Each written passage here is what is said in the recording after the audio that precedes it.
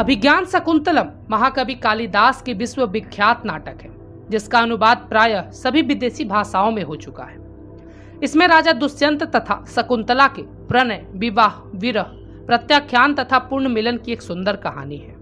महाकवि कालिदास द्वारा जो कहानी नाटिका अभिज्ञान शकुंतलम में वर्णित की गई है, वो महाभारत में वर्णित कहानी से कुछ भिन्न है।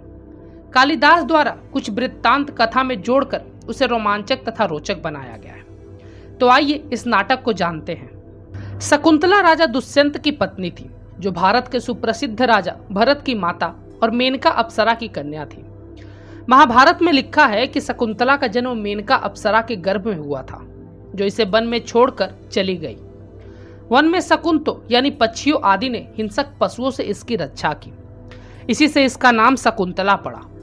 वन में से इसे कनब ऋषि उठा लाए थे और अपने आश्रम में रखकर कन्या के समान पालते थे। एक बार राजा दुष्यंत अपने साथ कुछ सैनिकों को लेकर शिकार खेलने निकले और घूमते फिरते कनब ऋषि के आश्रम में पहुँचे। ऋषि उस समय वहाँ उपस्थित नहीं थे। इससे युवती शकुंतला ने राजा दुष्यंत का आतिथ्य सत्कार किया। उसी अवसर पर दोनों में प्रेम और फिर गंधर्व विवाह हो गया। कुछ दिनों बाद राजा दुष्यंत वहाँ से अपने राज्य को चले गए। कनब मुनि जब लौट कर आए, तब यह जानकर बहुत प्रसन्न हुए कि शकुंतला का विवाह दुष्यंत से हो गया। शकुंतला उस समय गर्भवती हो चुकी थी। समय पाकर उसके गर्भ से बहुत ही बलवान और तेजस्वी पुत्र उत्पन्न हुआ, जिसका नाम भरत रखा गया। कहते हैं भारत का नाम, भरत के नाम पर ही पड़ा।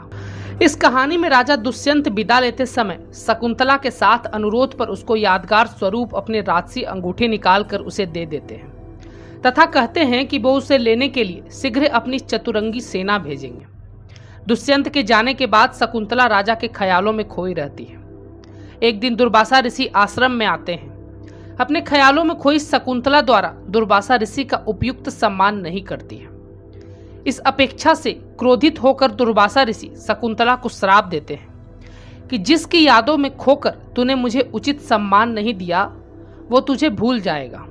इस श्राप से सब आश्रमवासी सहम जाते हैं। और दुर्वासा ऋषि से क्षमा मांगते हैं और शकुंतला अपनी गलती मान क्षमा याचना करती है। दुर्वासा कहते हैं कि ऋषि का श्राप तो वापस नहीं लिया जा सकता, पर उसका असर या सीमा कम किया जा सकता है। अगर तुम उस व्यक्ति को कोई पहचान की वस्तु दिखाओगी तो वो तुम्हें पहचान जाएगा। अपने पुत्र को उसका हक दिलाने के लिए शकुंतला अपने पुत्र और कुछ आश्रम वासियों के साथ कुलपति कनब का आशीर्वाद लेकर अपने पति राजा दुष्यंत से मिलने के लिए आश्रम में प्रस्थान करती है। रास्ते में गंगा नदी को पार करने के लिए सब एक नाव में सवार होते हैं। नाव में सवार शकुंतला नदी के पानी में अपना हाथ डालकर जल क्रीड़ा करती है। दुर्भाग्य बस उस दौरान उसकी उंगली से राजा की दी हुई अंगूठी निकलकर पानी में गिर जाती है।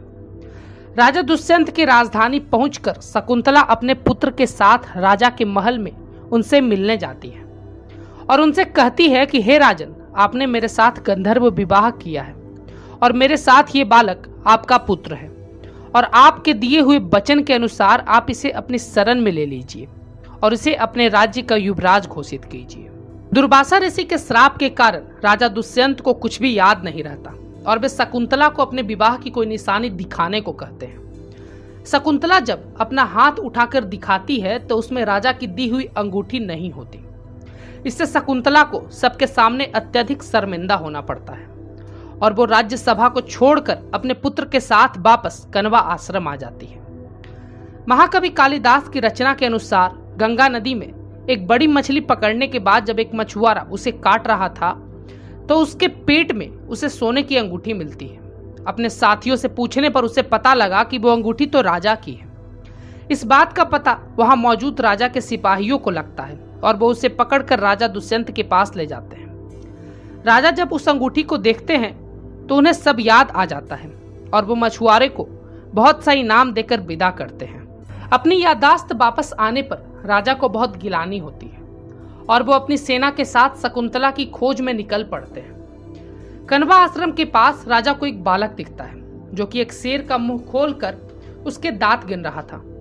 राजा के पूछने पर वो कहता है कि वो शकुंतला का पुत्र है और राजा को आश्रम में ले जाता है, जहाँ राजा दुष्यंत का शकुंतला से मिलन होता है। राजा दुष्यंत अपनी पत्नी शकुंतला और पुत्र को लेकर वापस अपनी राजधानी आ जाते हैं और अपने पुत्र को युवराज घोषित करते हैं। दुष्यंत शकुंतला के इस पुत्र को भरत के नाम से जाना गया। भरत ने इस विशाल भूखंड को एकत्रित कर कई वर्षों तक राज किया और इस चक्रवर्ती सम्राट के नाम पर इस देश का नाम भारतवर्ष पड़ा। अभिज्ञान शकुंतलम में अनेक मार्गिक प्रसंगों का उल्लेख किया गया है। एक उस समय जब दुष्यंत और शकुंतला का प्रथम मिलन होता है।